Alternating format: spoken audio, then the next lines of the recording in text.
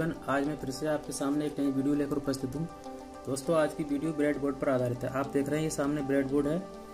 तो सबसे पहले हम जानेंगे कि इस ब्रेड बोर्ड का उद्देश्य क्या है, पर्पज क्या है। तो दोस्तों, इस ब्रेड बोर्ड का उद्देश्य है कि इस ब्रेड बोर्ड पर कोई भी इलेक्ट्रॉनिक सर्किट आप विदाउट सोल्डरिंग के डिज़ाइन कर सकते हैं और उसकी टेस्टिंग कर सकते हैं। उसके बाद आप उसको कहीं भी प्रिंटेड सर्किट बोर्ड पे, पीसीबी पे परमानेंटली सोल्डरिंग करके उसको डिज़ाइन कर सकते हैं।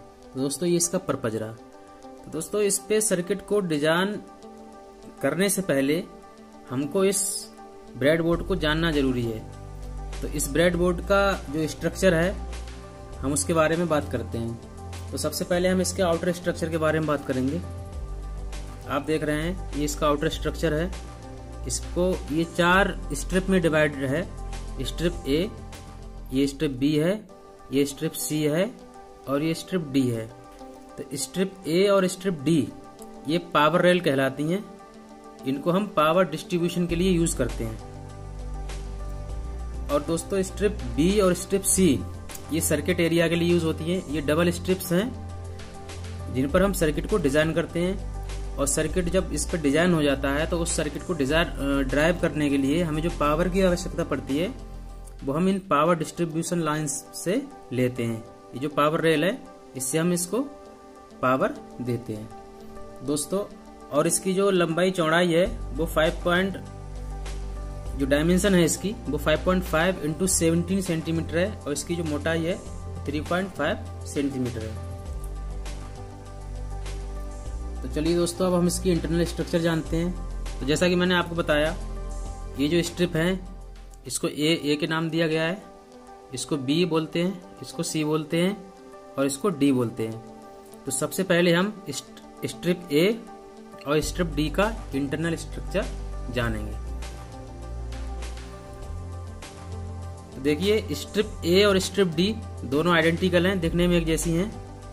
तो मैंने आपको पहले बताया, इनको पावर रेल कहते हैं। जो स्ट्रिप ए और स्ट्रिप डी को पावर रेल कहते हैं। इनको हम पावर रेल कहते हैं, क्योंकि इनसे हम पावर डिस्ट्रीब्यूट करते हैं सर्किट के लिए। तो देखिए, इसमें जो छोटे छोटे होल्स हैं, ये जो होल्स है इन इनमें हम जम्पर वायर लगा करके यहाँ पर डिज़ाइन जो सर्किट होता है, उसको पावर देते हैं। तो अब इसमें इंटरनल स्ट्रक्चर क्या होता है कि ये जो होल्स हैं छोटे छोटे ये इंटरनली हॉरिजोंटली शॉर्ट है। यानी कि अगर आपने यहाँ पर पावर दी है तो वो पावर यहाँ से होती हुई, हॉरिजॉन्टली पावर जो वो यहाँ तक जाएगी। ठीक है? अगर आपने यहाँ पर से पावर दी है तो वो पावर इसी लाइन में सभी होल्स में होती हुई जाएगी। यानी कि ये हॉरिजॉन्टली आपस में शॉर्ट हैं। अगर आप इसको कहने सकते हैं कि ये दो तारों के समान है, दो तारों के समान है ये। ठीक है? एक तार आपका ये हो गया और एक वायर आपका ये हो गया। ठीक है दोस्तों? तो स्ट्रिप ए और स्ट्रिप डी की स्ट्रक्चर बिल्कुल समान है। अब हम बात करते हैं सर्किट एरिया की। तो दोस्तों सर्किट एरिया में आप देख रहे हो ये डबल स्ट्रिप है। इनकी जो बिथ है, वो पावर स्ट्रिप से ज़्यादा है। तो इन पर हम बेसिकली सर्किट डिज़ाइन करते हैं इलेक्ट्रॉनिक सर्किट डिज़ाइन करते हैं। जैसे आपने रजिस्टर ले लिया ट्रांजिस्टर ले लिया डायोड ले लिया, इनको हम सर्किट एरिया में लगाते हैं। तो देखिए, जो पावर डिस्ट्रीब्यूशन रेल है आपकी, इसमें जो होल्स थे, वो हॉरिजॉन्टली शॉर्ट थे, यानी कि हॉरिजॉन्टली इंटरकनेक्टेड है। लेकिन जो सर्किट एरिया में है, इसमें ये वर्टिकली कनेक्टेड है। यानी कि अगर आप ये ये जो है, ये पाँच होल हैं, ये आपस में कनेक्टेड है। और इनका इस पड़ोस वाली लाइन से कोई रिलेशन नहीं है। उस तरह से अगर आपने यहाँ सप्लाई दी है तो यहाँ भी आएगी, यहाँ भी आएगी, और ये सारे सभी पाँच होलों में आएगी। आपने यहाँ सप्लाई दी है तो ये वर्टिकली पाँच की पाँच होल्स में जाएगी। और इसकी जो दूसरी स्ट्रिप है, वो भी इसी के आइडेंटिकल है तो इसका इंटरनल स्ट्रक्चर भी इसी की जैसा है। यानी कि इसमें जो कॉलम वाइज जो होल है, वो इंटरनली कनेक्टेड हैं इंटरनली शॉर्ट हैं, जैसा कि आप फिगर में देख पा रहे हैं। तो ये हमारा इसका इंटरनल स्ट्रक्चर हो गया।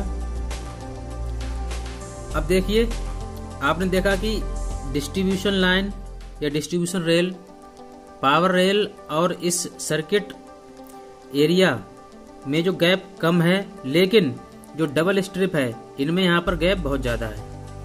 तो दोस्तों, ये जो गैप यहाँ पर बहुत ज़्यादा है, इसका भी अपना एक रीजन है।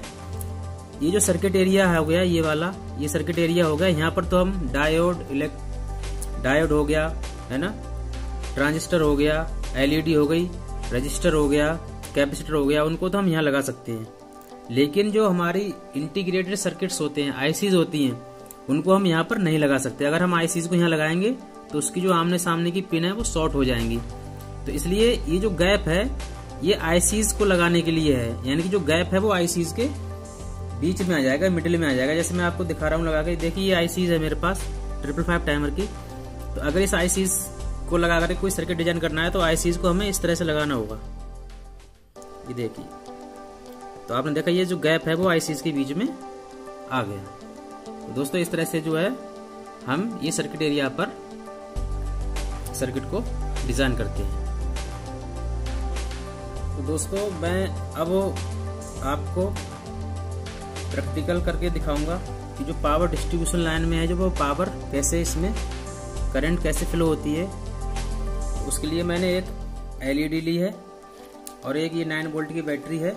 इसमें एक स्विच लगा हुआ है और ये कनेक्टिंग वायर्स है। तो इसमें पावर कैसे स्विच फ्लो होती है, मैं आपको दिखाता हूँ। ये एलईडी मैंने आप यहाँ लगा दी। इसमें कुछ कर दिया एलईडी और देखिए यहाँ से मैं इसको सप्लाई देता हूँ। मैंने सप्लाई दे दी और इसको मैंने ऑन कर दिया। देखिए आपने एलईडी ग्लो कर रही है। ठीक है? अब ये एलईडी आप कहीं भी लगा दीजिए इस लाइन में, हर जगह आपको पावर मिलेगी। कहीं भी लगा दो। देखिए पावर मिल रही है। यहाँ भी लगा दो पावर निकल, मिल रही है। हर जगह पावर अवेलेबल है। तो इस तरह से मैंने आपको बताया कि जो, ये जो पावर का वायर है, यहाँ से, यहाँ तक करंट पहुंचेगी और इसकी ग्राउंड की यहाँ से, यहाँ तक करंट पहुंचेगी। और इसका स्ट्रक्चर जैसा, इसका आइडेंटिकल स्ट्रक्चर है सेम यही है।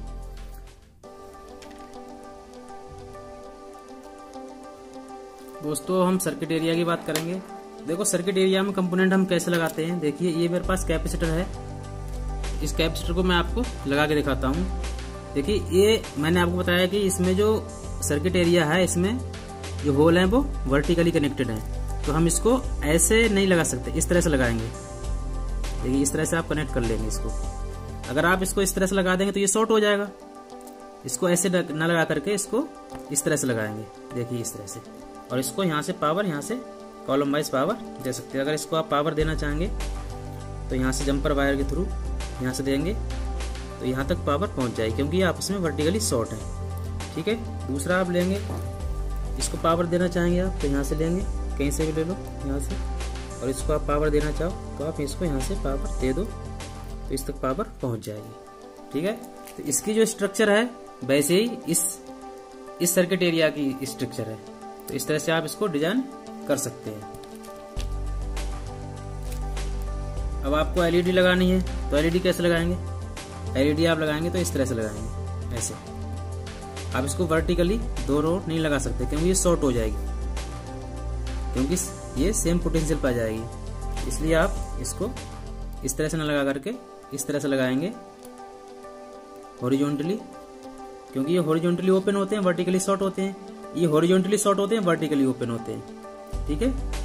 तो जो सर्किट एरिया में जो टिनी होल्स हैं ये वर्टिकली शॉर्ट है हॉरिजॉन्टली ओपन है। और जो पा, पावर रेल पर जो टिनी होल्स है ये हॉरिजॉन्टली शॉर्ट है यानी हॉरिजॉन्टली इंटरकनेक्टेड है बट वर्टिकली ओपन है। इस तरह से आप इसको डिज़ाइन कर सकते हैं। अब मैंने आपको ये गैप बताया था जो डबल स्ट्रिप है इनके बीच में जो गैप है वो इसलिए है क्योंकि हम यहीं पर आईसीज जो है हम यहीं पर लगा सकते हैं। आईसीज को यहीं पर पुश कर सकते हैं। क्योंकि ना तो यहाँ पर हम लगा सकते हैं आईसीज को। अगर आईसीज को हम सर इस स्ट्रिप पे लगाएँगे तो ये पिन इधर उधर वाली पिन आपस में शॉर्ट हो जाएँगी। तो इसलिए ये जो गैप है वो आईसीज के बीच में आता है, इस तरह से। तो ये आईसीज लगाने के लिए है। अब मैं आपके लिए एक सिंपल सर्किट इस पर डिज़ाइन करता हूँ। उस सर्किट को डिज़ाइन करके मैं आपके लिए सर्किट को पावर दे करके इसमें वीडियो को एंड करता हूँ। देखिए मेरे पास ये नाइन वोल्ट की बैटरी है, ये स्विच है, और ये कनेक्टिंग वायर्स लगी हुई हैं। तो मैंने इनको, जो पावर्स है, वो मैंने पावर रेल में दे दिए ये मेरे पास एलईडी है, और एलईडी को मैं यहाँ कनेक्ट करता हूँ। ये मैंने एलईडी को सर्किट एरिया में कनेक्ट कर दिया, और ये जंपर वायर से मैं यहाँ सप्लाई दे रहा हूँ। ये हमारा पॉजिटिव है। और पॉजिटिव हमें यहाँ से मिल रहा है। और ये हमारा नेगेटिव है। तो नेगेटिव सप्लाई हमको नीचे वाली लाइन से मिल रही है।